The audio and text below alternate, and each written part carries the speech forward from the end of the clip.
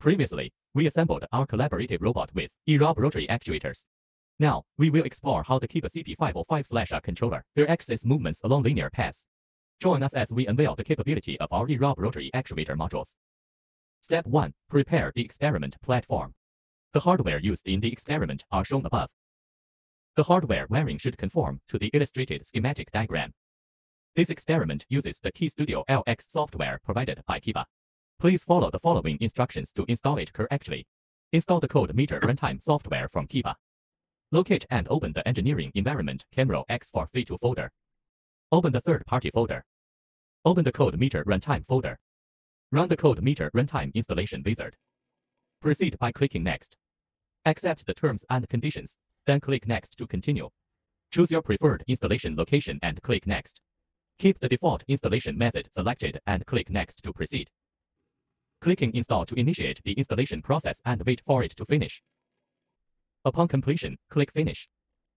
Install the KeStudio LX software from KEBA. Locate and open the Engineering Environment Camero File32 folder. Open the Tools folder. Open the KeStudio LX folder. Double-click on Setup, exe to run the installer. Click Next.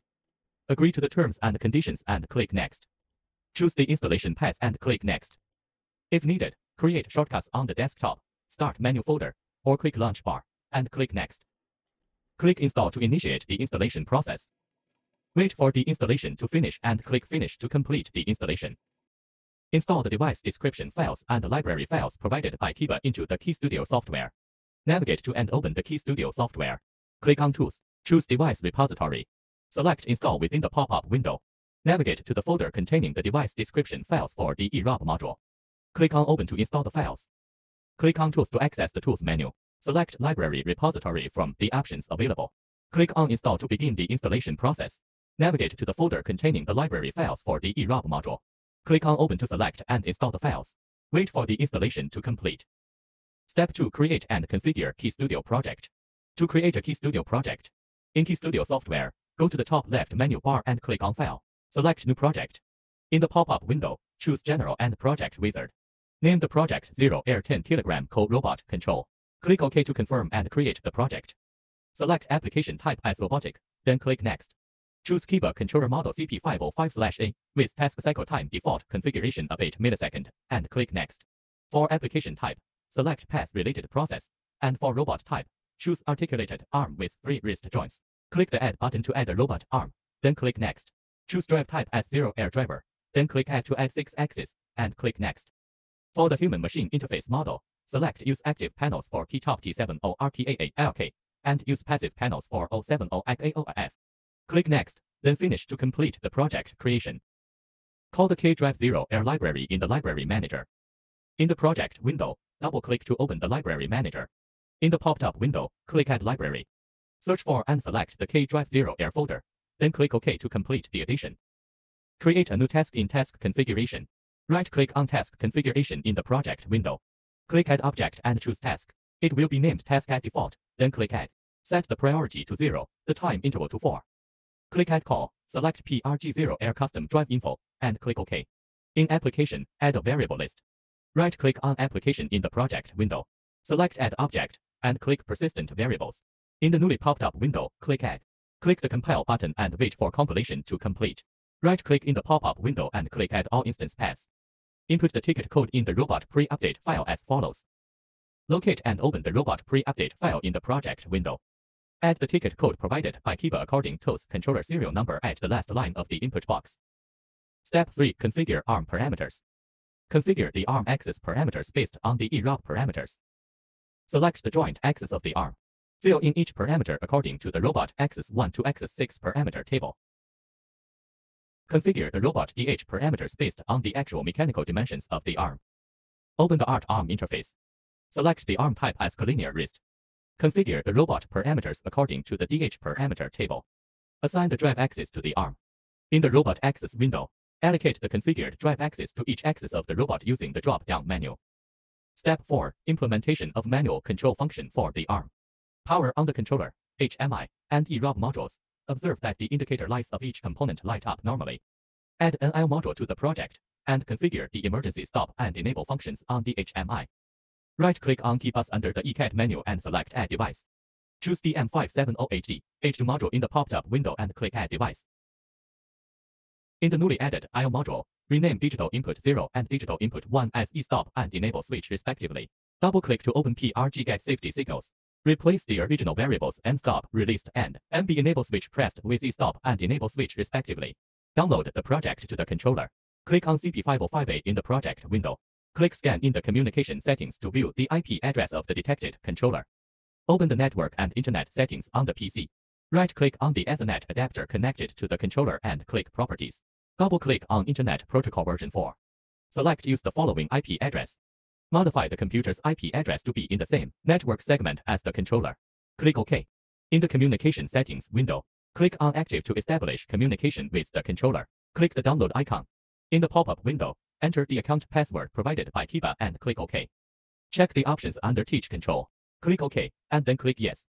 Wait for the download to complete. To enable the robot, hold the human-machine interface in hand. Turn the HMI key to the middle position for automatic operation. Press the Enable button on the HMI. Listen for the sound of the EROB modules releasing the brakes. At this point, the enable light in the top right corner of the HMI should light up, indicating successful communication between the EROB modules and the controller, and enabling is complete. To control the collaborative robot manually, turn the HMI key to the manual mode position. Press the manual enable button on the back of the HMI. The enable indicator light should light up in the top right corner of the HMI. Switch to jog mode. Press the jog button on the HMI to switch to jog mode. Manually operate the arm. Press the plus button for axis A1, and the arm's axis 1 will move in the positive direction. Press the minus button for axis A1, and the arm's axis 1 will move in the negative direction. Press the plus button for axis A3, and the arm's axis 3 will move in the positive direction. Press the minus button for axis A3, and the arm's axis 3 will move in the negative direction. Press the plus button for axis A5, and the arm S axis 5 will move in the positive direction. Press the minus button for axis A5, and the arm's axis 5 will move in the negative direction. Press the plus button for axis A6, and the arm's axis 6 will move in the positive direction. Press the minus button for axis A6, and the arm's axis 6 will move in the negative direction. Step 5. Implementation of arm zeroing and homing function. Add a zero-point setting program in KeStudio. Right-click on Machine, select Add Object. Click on Program, and name it Set Zero Position. Open the newly created program Set Zero Position. Input the zero-point setting instructions into the program.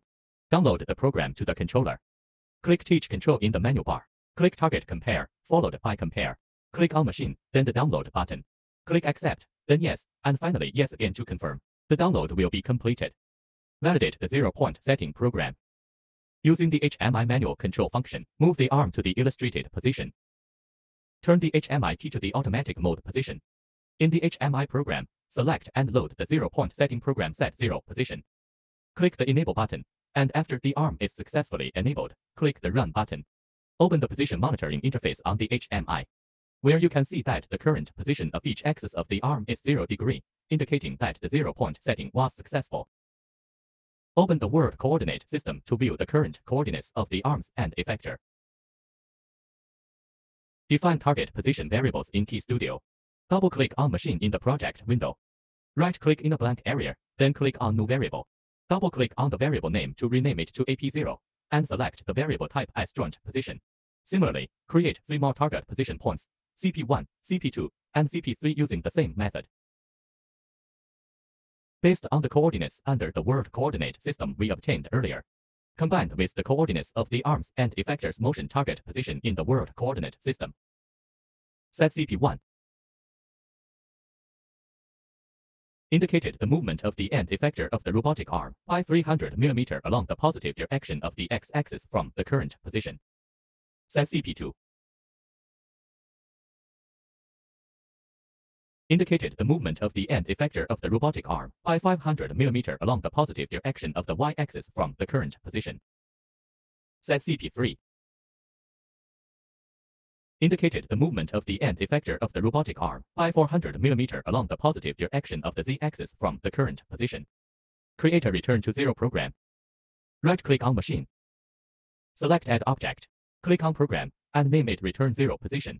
Open the Return Zero Position program. Input the command ptpap0. Download the program to the controller. Click Teach Control in the menu bar. Click Target Compare, followed by Compare. Click on machine, then the download button. Click accept, then yes, and finally yes again to confirm. Download completed. Switch back to manual control mode. Manually control each axis of the robotic arm.